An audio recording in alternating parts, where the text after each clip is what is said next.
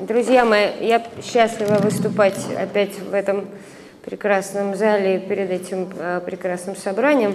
Э, э, попутно, пользуясь случаем, представлю вам, наконец, в виде трилогии существующее. Вот э, я назвала это «Литва. Королевство поэтов». Радаускас, Венслова и Потацкас. Эм, Почему так, могу потом объяснить э, в куларах. Э, да, значит, э, доклад про Потаскаса, собственно говоря, это избранное, и оно, я даже не знаю, какую часть представляет, может быть, четвертую часть из всего написанного. Потаскас много написал стихов за свою жизнь. Но здесь, конечно, не все, что он написал. Это э, билингва, да, параллельные тексты. Поэтому подсчеты и выводы можно рассматривать как предварительные. Но, тем не менее, это как бы довольно представительный, представительный получился текст такой. Э, термин иероглиф, ниже употребляемый, взят у теоретика Чинари Леонида Липавского, неоднократно применялся исследователями, начиная с Друскина, для описания бериутско-чинарского текста. Иероглиф двузначен, пишет Липавский. А, собственное значение иероглифа, его определение как материального явления физического, биологического, физиологического, психофизиологического. Его несобственное значение не может быть определено точно и однозначно. Его можно передать метафорически, поэтически, иногда соединением логически несовместных понятий, то есть антиномией, противоречием, бессмыслицей.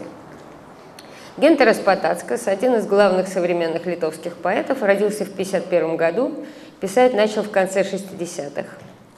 В молодости это был хороший поэт-метафорист, ярко эмоциональный, с буйной фантазией. В отличие от большинства своих предшественников и современников, он ориентирован скорее на мировую, чем на национальную культуру, и э, тем самым э, не на фольклор, а на миф скорее даже на архетип, ну, так кратко я скажу. Его ругали, хвалили, любили, ненавидели. Э, несколько лет назад он как будто вылупился по собственной терминологии, перестал быть, пытаться быть поэтом и стал писать все подряд. И его, в общем, перестали понимать, начали упрекать в непонятности, в однообразии, в том, что он исписался. А на деле же он первый в истории литовской поэзии пишет естественным для себя крепким традиционным стихом в раскованном и рискованном режиме потока сознания, без оглядки на читателя и критика, разбираясь с содержимым собственной головы. Я начала переводить его 30 лет назад, несколько раз возвращалась к его стихам, и всегда это была интересная работа, но сейчас она превратилась в захватывающее приключение – с 2013 года он пишет и публикует, а я перевожу большую книгу под общим названием «Малое божественное Ко», состоящую из отдельных, по большей части однотипных по форме стихотворений, складывающихся в общую систему, объединенную сквозными иероглифами. Сразу отмечу, что э, Абериутов Потаскас по собственному признанию читал мало, Веденского не читал, Хармса, ну, Хармса говорит, я говорит, читал, но немного. Так что тут ну, увидите сами. Поэзию, основанную на метафоре, исследовать на предмет иероглифов неконструктивно, пока в ней напрямую или опосредованно присутствует механизм сравнения, уподобления, иероглиф не работает. Интересно становится тогда, когда, по выражению Александра Веденского, пространство стало реже, и все слова «паук», «беседка», «человек» одни и те же – то есть не девушка кивает на розу, роза кивает на девушку, никто не хочет быть самим собой. А все слова сливаются в единое целое и означают одно и то же, когда сквозь мозг идет один большой поток, и в этом едином потоке сами собой, как рыбки в реке, начинают мелькать и сверкать опознавательные знаки, за которые можно уцепиться, и тогда этот поток из нечленораздельной каши превращается в стройную систему – и именно то, что представляется дневному сознанию бессмысленным, как раз сигнализирует о прорыве в текст сонного сознания или подсознания с характерными архетипами и специфическими образными связями. Речь, конечно, может идти только о том тексте, который не сконструирован, а естественно произрастает на живом корне. Тут кроются серьезные засады для переводчика. С первоначалу кажется, что перед тобой свободная игра, так что главное выдержать форму и приложить немножко фантазии, тем более, что поэт э, охотно поддерживает эту иллюзию, ему всегда все нравится. Переведешь побольше, становится ясно, что на самом деле шаг в сторону побег, приходится по второму и третьему разу проходить все подряд и вытаскивать детали оригинала. Что-то, правда, остается неисправленным, особенно в ранних вещах, построенных по закону метафоры, где иероглифическая сетка еще не вычленилась, не проявилась. Ну, например, я написала, и только денежку медной луна сияла сквозь стекло. Только при подготовке этого доклада поняла, что луна у Потацкаса медной не бывает, а только серебряной и в исключительных случаях золотой. Проверила, там, конечно, просто денежку круглой. Ну, что делать, давно переводила, 30 лет назад.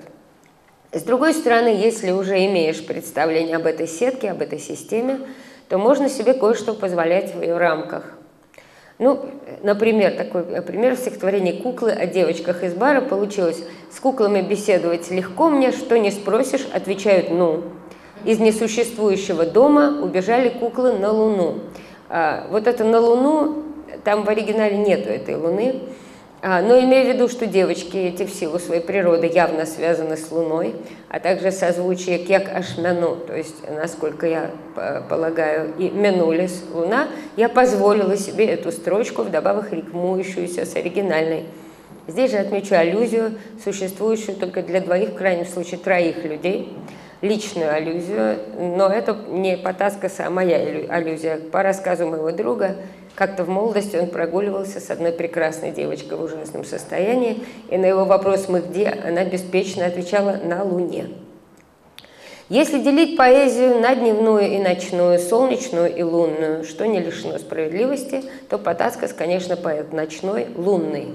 Ночь – его время, и луна – его естественный спутник – Рыб я в своем избранном насчитала 27, в том числе по названиям щука, лещ, акула, плотва, карась, хек и т.д., а также рыба, кит и дельфин. Луна упоминается, по моим подсчетам, 49 раз, рыба в непосредственной связи с Луной – 3 раза. Эм, сквозной мотив отождествления с рыбой. Например, мы рыбы, не попавшиеся в сети, на нас на всех охотится дельфин – а, у меня есть э, здесь э, параллельные литовские оригиналы, но я, наверное, не буду их читать для скорости. Если хотите, потом могу показать или там как-нибудь еще. Или опять нырнуть, как рыба в глубину, во тьме с небес на землю кликать пламя, порастерять никчемное желание, размазаться по каменному дну и так далее. А,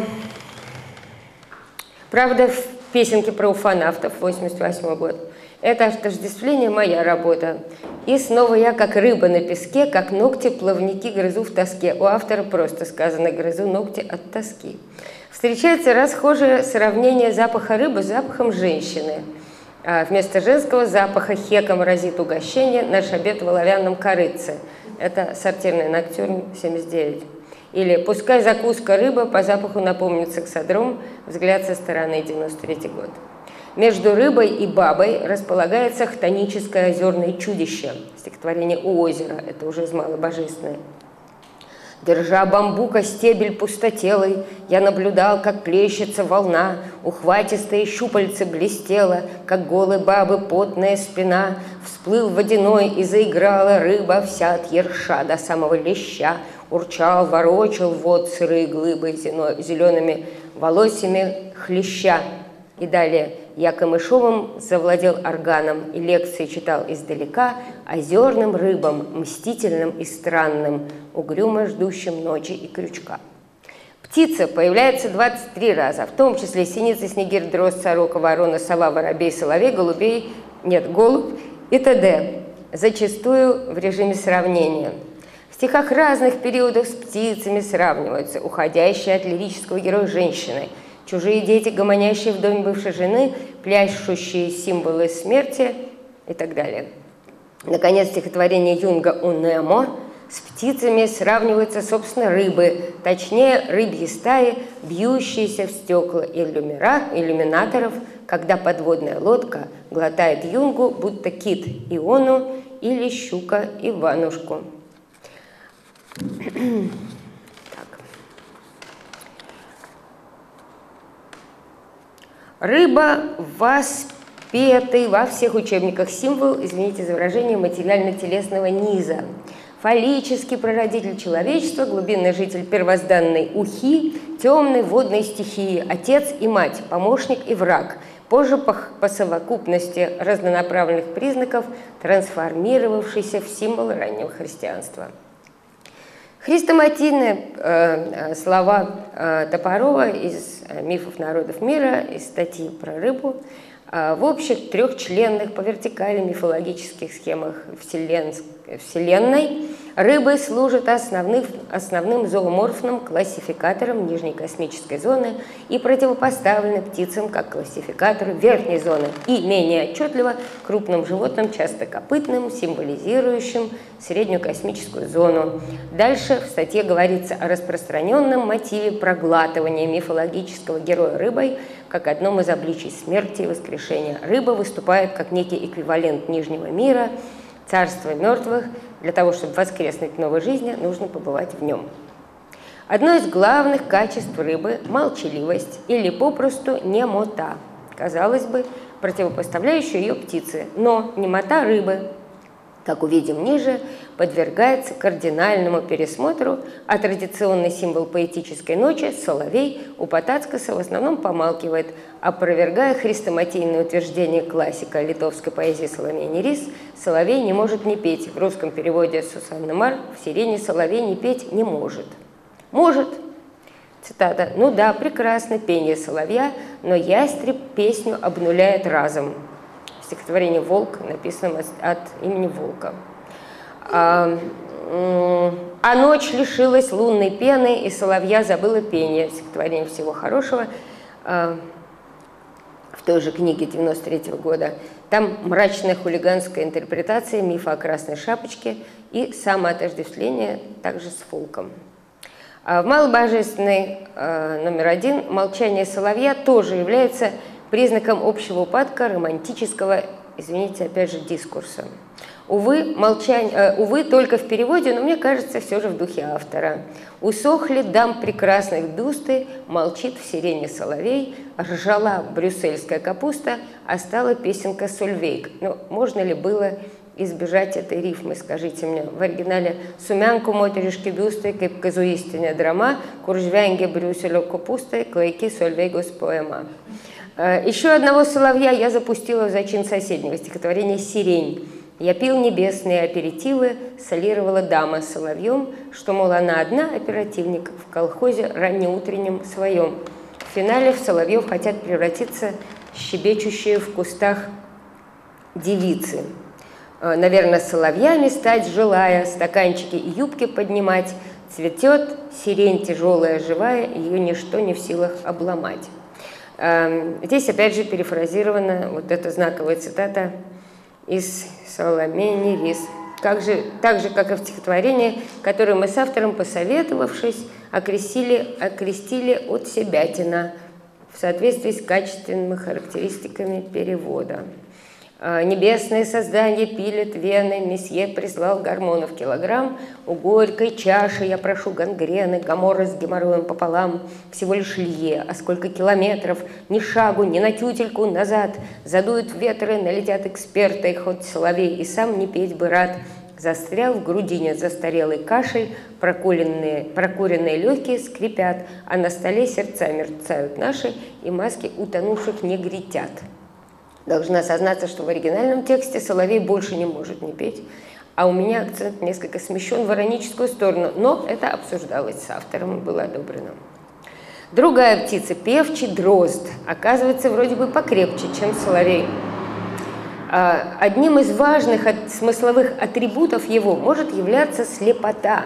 Для Потацкаса в силу личных физиологических причин одно из сущностных качеств поэта – в 1981 году в «Уикенде» с положительным героем он, как и в только что процитированном куске «Малой божественной комедии», саморазрушительно призывал на свою голову различные недуги. Нет парашюта у пилота, осталась только катапульта, а, мечтал бы ты лишиться глаз, хотел бы хворей и зараз. В одном из интервью поэт говорит, я заметил, придумываю, пишу, а оно сбывается, поэтому я стал осторожнее фантазировать. Действительно, кое-где у него с пугающей точностью предугаданы личные и мировые события, в том числе катастрофические. А вот в интервью он говорит, это еще моя личная трагедия, потому что я слепну. Но я знаю о свете одну важную вещь. Есть еще и внутренний свет. Когда закрываешь глаза, там тоже все светится. Так что не страшна потеря этого света. Ведь и Гомер изображается слепым поэтом, значит, и слепой тоже может писать. А в раннем стихотворении «Слепые» в шести строфах шесть стадий жизни, снящихся человеку от зачатия до смерти. Собственно, слепых в тексте нет, есть рынок жизни, ослепляющий фотонами лип и т.д. И взгляд птицы, и снится телу, если мне не спится, как на его печаль косится птица, когда сливают белое колени в тень женщины, стоящей на коленях. А, в переводе «Колыбельная» из той же книги 81 года я э, э, тоже стремящийся вплотную подойти к тайне рождения, я допустила в сон отсутствующие, но, мне кажется, подразумеваемые оригиналом образы слепоты. Спокойно спи, пускай плетется время, Пусть путаются, как ночные тени, Слепые корни снящихся растений. Сиренью мои пальцы облетают, От тела отделенные плутают, Часы на ощупь тикают по темени. И непосредственно дальше один из редких у Потацкаса образов золотой, а не серебряной луны. Эм, можно обозначить цепочку слепой спящий, сновидец, ясновидец. Э, вот в стихотворении «Вишневый сад», я, наверное, его прочту, оно маленькое. На ощупь зэк скребется на свободу в темнице, словно в банке без сардин – Дельфины и дофины мутят воду, между ними ясновидящий один. Беспалый ли, бездомный ли, безглазый, обязан каждый выдать на гора. Вагон угля и пушечного мяса, и поглядим, чем кончится игра. Повыбиты бизоны, динозавры, и мама Мия воют тенора, толпа крестится, лезет в день базарный, бабулек тьма, а булок нихера, незрячий дрозд в объятиях вечной ночи – Вишневый сад созрел уже на треть, а дрозд кричит. Он больше жрать не хочет, а хочет он прозреть и посмотреть. Когда молчат соловьи, рыбы поют.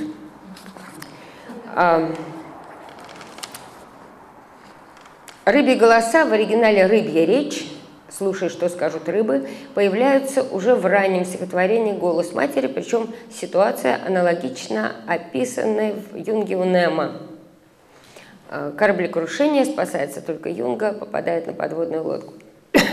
ну, голос матери, да? Но мелкие секунды не кончаются, еще кусок у времени урву. Над головою палуба качается, и я по морю щедрому плыву. Ну, Мартин Иден, открывай глаза, смотри и слушай рыбьи голоса. А в стихотворении «Заблудшая овца» из «Малой божественной» номер 4 я текста, правда, здесь не вполне совпадает с реальным авторским «я». Мне пелось соловьем, а нынче рыбы и то звончей поют на дне реки. Ну, там другие тоже цитаты, стихотворения из той же книги «О ночи мои». Там «И дежавю поет небесным хором бесплатно рыба, волны, корабли». Там «Во сне другом всегда повешен кто-то, там черепа, червонцы, червяки». Два сна соединить моя забота, но как две параллели, две тоски в одной зелено-голубой нирване никак не могут слиться эти сны о лающих собак моих молчанье, о ночи моей полной луны. Черепа, червонцы, червяки, по-литовски не червонцы, просто деньги, но я взяла созвучие с неявной отсылкой к Веденскому. В литовском оригинале есть другие осмысленные созвучия, я их могу назвать неложные друзья переводчика. А, причем, например, не только красивые Мелина сменулись, а, синий луна, но и страшная жувис, жува, а, рыба гибнет. Правда, в первом случае У краткое, а во втором долгое. Получается, что по-литовски рыба уже по созвучию находится рядом со смертью. Недавнее интервью с поэтом я начала с вопроса, который меня давно интересовал, сразу получила важный в нашем контексте ответ. А расскажи что-нибудь о своем детстве. Детство – ведь самая важная часть жизни, тем более для поэта. Ну, это было детство Тарзана или Маугли. У нас в Алексотосе, рядом с домом, где мы жили, родители, мы, трое сыновей, был ботанический сад. Там росли ранние черешни и розы. Это было предметом наших интересов. Еще там в прудах водился лещ. Мы его ловили. И был сторож с двустволкой. Однажды прицелился в моего друга. Я его толкнул, он упал на землю, старый был, и стрельнул из обоих стволов солью. Больше мы туда не ходили. А однажды поймали меня и загнали в пруд, заставили искупаться в одежде, чтобы я пришел домой мокрый. 13 лет было мне. Здесь надо сделать серьезное лицо и говорить об инициации, о потрясении, перевернувшем душу подростка, об отождествлении с рыбой, совпавшем с внезапным прозрением взрослением. И не случайно взмывающая в уставшем от трезвости абстиненте волна протеста описывается в терминах нереста мальков. В оригинале «нерштас» – нерест отлично рифмуется со словом «керштас» – месть. Бунт на корабле. Мальки на нересте, мы больше не играем. Взрывной волной смывают капитана, И в джунглях водки бьется желтым самураем Святое право первого стакана. Другая рыба, рыболовная картинка из ранних времен описана в стихотворении под названием «Говнярка», где очередной поход в пивную, вот выходной опять пора в Рамбинос, стремительно разворачивается в речную тему купальщицы на Немане, пароход Кестутис, рыбалка, луна и так далее. А на зимний рейд швартуется Кестутис и вся его плавучая братва. А Алексоцкий парень спать не будет, пока в говнярке ловится плотва. Полна дерьма речонка на окраине, а комбинат как будто ни при чем. А, мясокомбинат там был, да?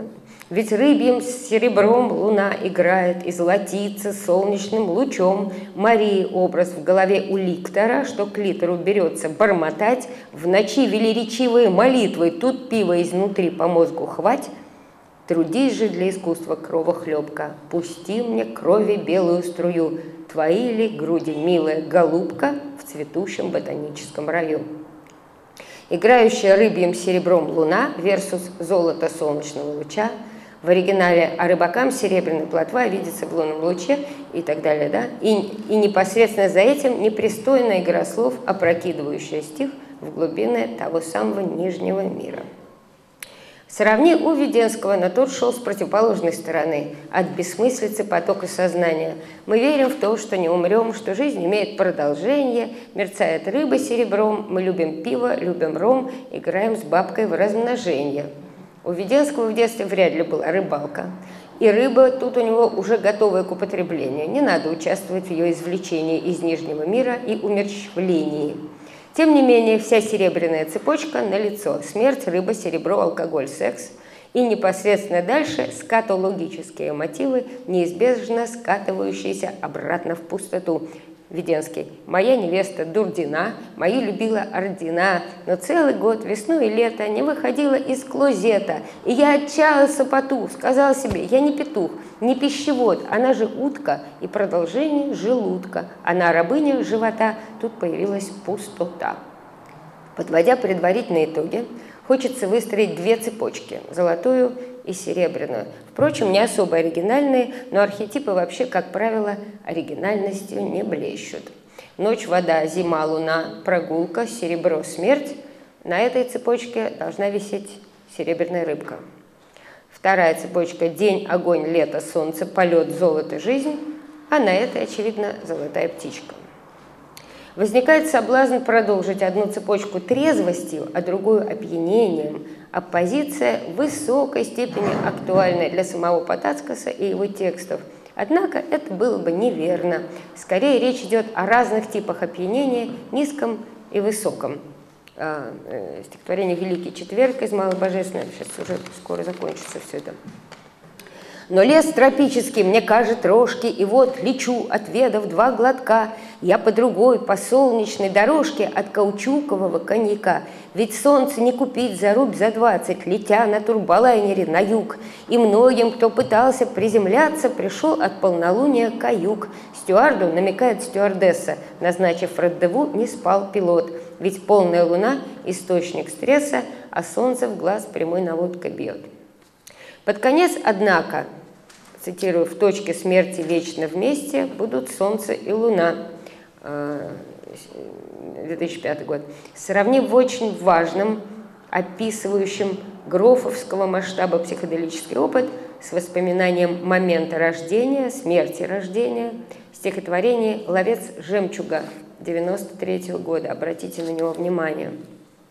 Ныряй, наполнив легкие огнем небесных тел комет, метеоритов.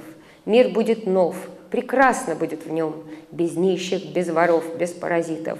Мир в форме пирога, начинка ты, но главное – орнамент, украшение. Между ключиц мерцает лик луны, сияет солнце в солнечном сплетении.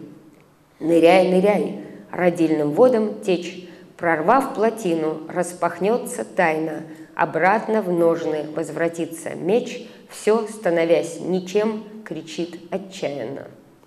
В этой подводной точке не только Солнце и Луна вместе, но и рыбы могут уподобляться птицам, как в юнге у Немо, как птицы рыбины стучатся в стекла иллюминаторов. В том же аквариуме, аквариуме, очевидно, третьим будет представитель среднего мира.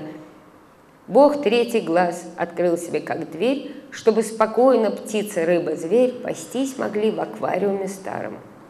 Очевидно, что в Алексотской космогонии Потацкаса этим зверем, крупным животным, правда не копытным, символом среднего мира выступает собака. Если девицы норовят превратиться в соловьев, то сам поэт, возможно, можно, но не хочется сказать лирический герой, скорее Вервольф или, скажем так, Верхунд или Сверххунд – а в ранних собаколовых это отождествление еще, еще обличено в некую форму, сравнение поэта с отверженной современным обществом бездомной собакой, на которую охотятся собаколовы, поэтическое допущение, развернутая метафора у пса безродного бродяги, ни, ни заработка, ни бумаги, он нарушает наш закон, расшатываются устои от непочтительного воя, который в небо устремлен.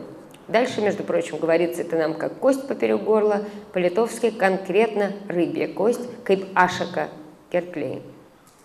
Эм, в раннем, другом раннем тексте «Мелодия дождя» тело псом по дорогам бежит. В оригинале «бездомным псом», опять-таки. И рядом э, упоминается луна, лунное купе, в котором уносится друг. Позже в стихотворении «Волк» и других находим отождествление с волком. А, в интервью на прямой вопрос я получила ясный и довольно страшный ответ. У тебя часто волк в стихах фигурирует. Что это? Ты чувствовал себя вот этого волка? Это было, когда я в коме лежал. У меня было 6 ком вместо 40. Что значит вместо 40? 40 ком – это такая больничная норма. Так делают психушки. Лежишь привязанный, потому что у тебя конвульсии. Теперь вводят в вену инсулин, и ты входишь в инсулиновую кому. Два часа в ней пролежал, потом пробуждаюсь и чувствую, что я не я. У меня холодные конечности, которые я ощущаю как волчьи лапы. И вообще я понимаю, что нахожусь в волчьем теле. Я просыпаюсь с рычанием и из волка превращаюсь в человека. Так я породнился с волком. Каком году это было? В 76-м, когда у меня вышла первая книга Э, на бытовом уровне это проявилось в фактической дружбе с собакой, причем похожей на волка. Сначала это была немецкая овчарка, а теперь сибирский хаски локис. Не локис, медведь, а именно локис, то есть Локи, скандинавский бог, отец чудовищного волка Фенрира, тот, что помимо прочих чудес, заметили, свет погас, Умел превращаться в рыбу. Разговору о собаках посвящено целое интервью в бульварной газете – где журналистка, в частности, спрашивает а Гинтарас, откуда такая любовь к собакам, где же собака зарыта, там и так далее. У него была такая книжка, а, где собака зарыта. В одном стихотворении ты пишешь о далеком времени, когда ты станешь светом, который струится оттуда, где похоронена собака, и сливается с тобой. «Какая абракадабра?» – говорит журналистка. А поэт отвечает, это не абракадабра, как и то, что Хаски Локис пришел в этот мир в тот самый день, когда ушел на волчью луну лорд. На вопрос, что ему больше всего нравится в Локисе, Гинтерес отвечает, меня поражают модуляции его голосового аппарата. Локис умеет урчать, выть, лаять, петь и издавать разные другие звуки. Мне кажется, что когда-то волк очень близко подошел к лисе, и так получился хаски.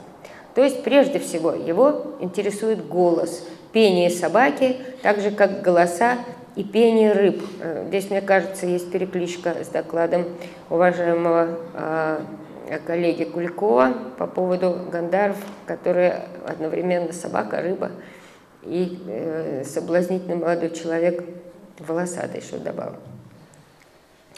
Эм, вот, э, по этому признаку зачастую в позиции вытья на Луну поэт явно или неявно отождествляется или, по выражению Маяковского, делается собакой.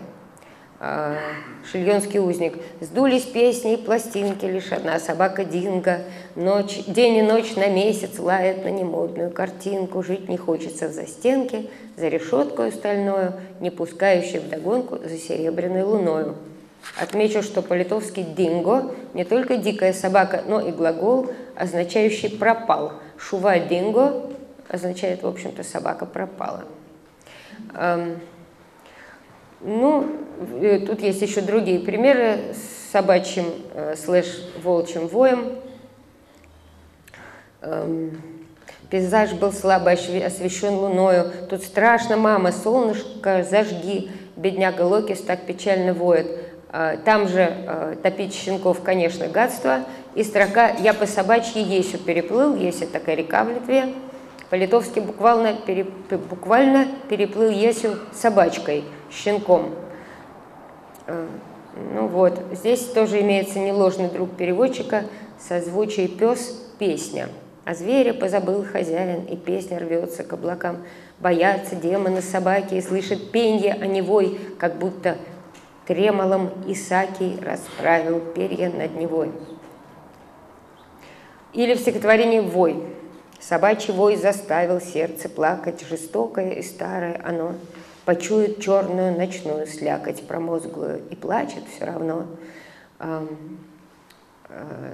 идут те, кто в меня не верил, мимо, роняю слезку жалкую одну, а я за жизнь, поломанную ими, собакой ставшей, вою на луну. Здесь же отметим, что есть у Потаскаса и марсианская или японская леса, Э, которую в книге «Побег», э, в стихотворении «Побег лисы» один «Луна спасает от погони, луна тонет в пруду, за ней прыгают и тонут охотники с собаками, кстати говоря. Не характерная расстановка сил, но, может быть, японских собак как-то не жалко, они не в счет. Эм, ну, в последних книгах у Потаскаса собака становится одним из главных персонажей, близким к альтер-эго. Так часто бывает у собачников – об этом много говорено, в отличие от истории с рыбами и птицами. Эта тема уже выходит за рамки анализа поэтического текста. Но а, а, еще одно замечание. Хаски – собака сибирская, северная. И ночная прогулка с этим существом вызывает у поэта ассоциацию с Сибирью, как местом мучений и гибели сильных литовцев. Причем хаски выступают союзником в борьбе с врагами. В глазах зеленых сполохи ракет, чтобы русских танков задержать бригады. А, морозная лунная ночь, и тут же север, и вечная мерзлота, нижний мир, поглотивший десятки тысяч людей, не заживающая рана в литовском национальном сознании. И это по-детски серьезно и трогательно, как вспомни Мересьева, только наоборот. На этот полюс, в холод адский, мы с Локисом идем туда. Я помню лед могилы братской, сестринской, детской навсегда. Ну, закончу, наверное, еще двумя цитатами из интервью. Одна имеет отношение к материальной стороне жизни, а другая совсем наоборот. Это возвращаясь к рыбам и рыбалкам. «Пишу по-прежнему не дома, а в кафе», — говорит поэт. Годы берут свое, стал меньше ходить, болят старые раны, да и цель, сидения наблюдения в кафе поменялась. Раньше хотелось поймать, попытаться себе представить прекрасное мгновение с прекрасной дамой – Теперь высматриваешь потенциального клиента, который может купить у тебя книгу. Такая своего рода рыбалка. А может, это просто феномен Лайсвес-алеи. Не знаю, я всего лишь житель своего болота. Другие районы не заглядываю. 2003 год. И в недавнем интервью а, тут такая сказочная история про золотых рыбок. А, мы заговорили о мужском и женском началах, что у меня внутри живет маленький мальчик а, на велосипеде, а у него внутри живет маленькая девочка. Я говорю, ну я вообще не очень инь, у меня вот это что-то маленькое внутри, о котором ты упоминал, скорее мальчик, а у тебя это маленькая девочка. Он говорит, моя девочка была уже взрослая, лет 16, вылитая Остробрамская Божья Матерь. Она появилась, когда я сидел в ванне. Это был один из моих мистических опытов. Я трезвый был, он совершенно трезвый, ну, может, таблетку какую съел. И ванна ожила, в ней начали плавать золотые рыбки. Это длилось довольно долго. А потом приплыла женщина в костюме плавчихи. Она стукнула меня по пальцам ног, развернулась и нырнула обратно. Вылитая Мадонна, один в один, только в костюме плавчихи. Спасибо.